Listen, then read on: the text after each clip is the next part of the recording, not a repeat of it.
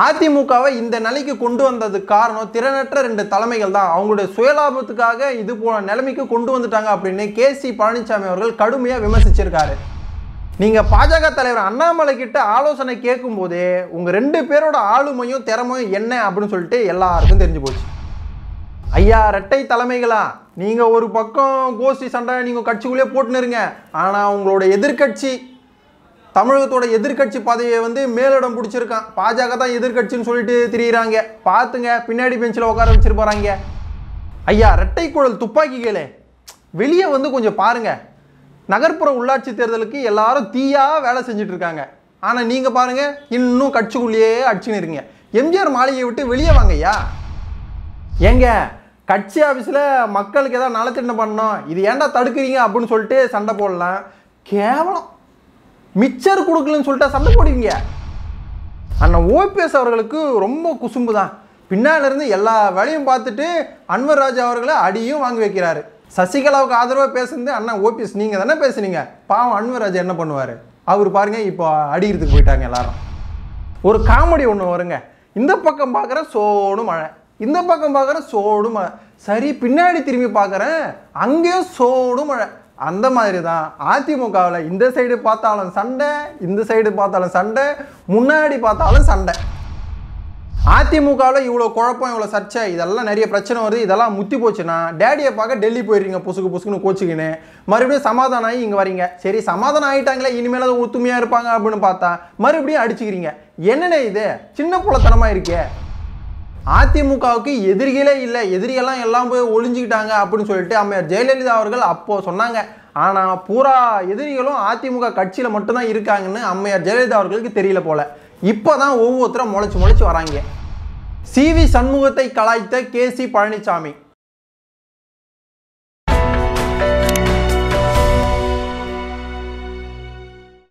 வணக்கம் மக்களே. தமிழகத்தில் எதிர்க்கட்சியாக இருக்கக்கூடிய அதாவது எதிர்க்கட்சின்னு சொல்லிட்டு இருக்கக்கூடிய இந்த அதிமுகவில் நிறைய பிரச்சனைகளும் சர்ச்சைகளும் எழுந்துட்டு வருது. ஆனால் அதுக்கும் மேலே ஒரு படி முன்னேறி இப்போ அடிதடியும் நடந்துட்டு வருதுங்க.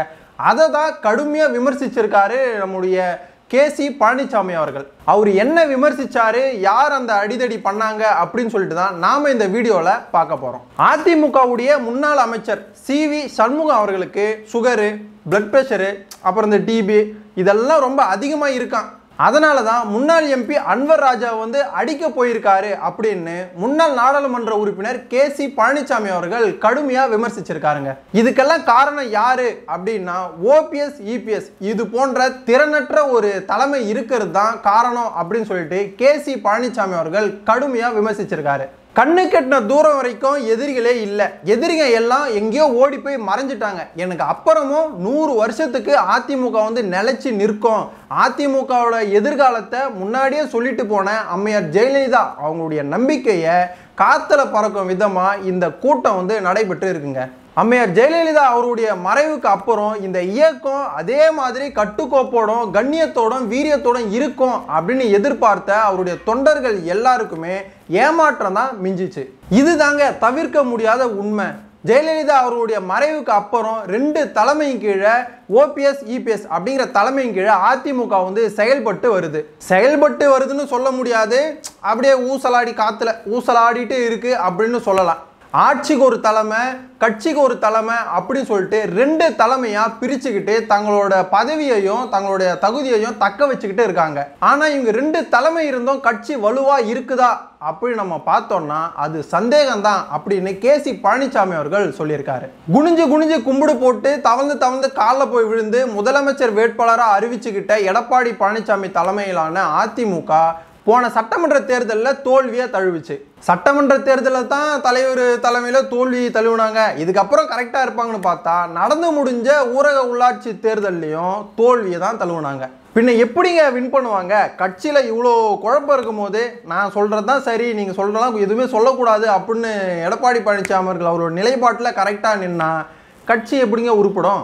இது போன்ற தொடர்ச்சியான தோல்விகள் அதிமுக தொண்டர்கள் மத்தியிலையும் நிர்வாகிகள் மத்தியும் பெருத்த ஏமாற்றத்தை உண்டாக்கி இருக்குங்க இதனாலேயே கட்சியோட தொண்டர்களும் நிர்வாகிகளும் கட்சியை விட்டு வெளியேற பிளான் பண்ணிட்டு இருக்காங்களாம் தனக்கு அப்புறமும் நூறு வருஷம் அதிமுக வந்து நிலைச்சி நிற்கும் அப்படின்னு சொல்லிட்டு போனாங்களே எங்களோட ஒப்பற்ற தலைவி ஜெயலலிதா அவர்களுடைய நம்பிக்கையை அவங்க நாசம் பண்ணிட்டாங்க அப்படின்னு சொல்லிட்டு வெறும் குறை குறையா சொல்லி தாக்கி இருக்காரு கே சி பழனிசாமி அவர்கள். இது போன்ற பிரச்சனைகள் நிலவிட்டு வர நிலையில எப்படியாவது வரப்போற நகர்ப்புற உள்ளாட்சி தேர்தலையாவது கௌரவமா ஒரு வெற்றி பெறணும். அதுக்காக வந்து நம்ம என்ன வேணா பண்ணணும் அப்படின்னு சொல்லிட்டு அதை எப்படியாவது சாத்தியப்படுத்தணும் அப்படிங்கிறதுக்காக நேற்று முன்தினம் மாவட்ட செயலாளர்கள் கூட்டம் ஒன்று நடந்துச்சு.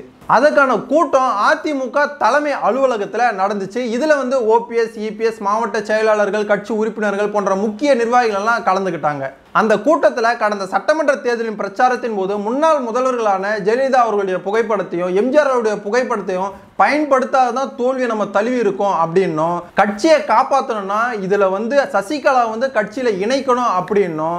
முன்னாள் எம்பி அன்வர் ராஜா அவர்கள் பேசியிருக்காரு. அது மட்டும் இல்லாமல் சமீபத்தில் எடப்பாடி பழனிசாமி அவர்களை ஒருமையில் பேசின ஆடியோ ஒன்றும் வெளியாகி அதில் பரபரப்பை ஏற்படுத்தி இருந்துச்சு. இதனாலேயே ஏற்கனவே அவர் மேலே வெறுப்பில் இருந்த கான்ல இருந்த நம்ம முன்னாள் அமைச்சர் சி வி சண்முகம் அவரை வந்து பேசக்கூடாது அப்படின்னு சொல்லிட்டு குரல் எழுப்பி இருந்தார் கூட்டத்தில்.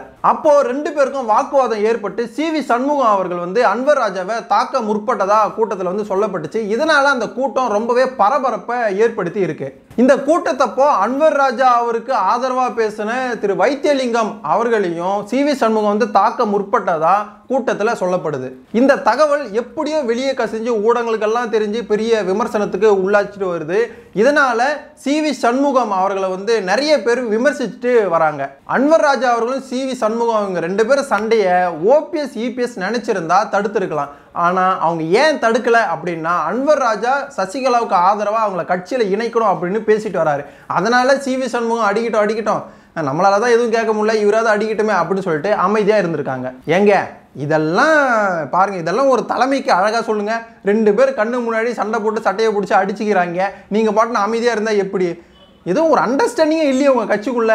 நீங்கள் நகர்ப்புற உள்ளாட்சி தேர்தலில் என்ன தான் பண்ண போகிறீங்கன்னு தெரியல. பார்ப்போம். அந்த வரிசையில் அதிமுகவுடைய முன்னாள் நாடாளுமன்ற உறுப்பினரில் ஒருவரான கே சி பழனிசாமி அவர்கள் தலைமையையும் கட்சியையும் கடுமையாக விமர்சிச்சிருக்காரு. பாவம் மனுஷனும் எத்தனை நாள் தான் பொறுமையாக இருப்பார். அதனால தான் பொங்கி எழுந்துட்டு இருக்கா போல. இதை பற்றி யூடியூப் சேனலுக்கு வந்து ஒரு பேட்டியை கொடுத்துருக்காரு கே சி பழனிசாமி அவர்கள். அதில் என்ன சொல்லியிருக்காரு அப்படின்னா சி வி சண்முகம் அவர்கள் அன்வர் ராஜாவை தாக்குனாரு அப்படின்னு சொல்லிட்டு நிறைய இடத்துல இருந்து விமர்சனம் வந்து எழுந்துக்கிட்டே வருது.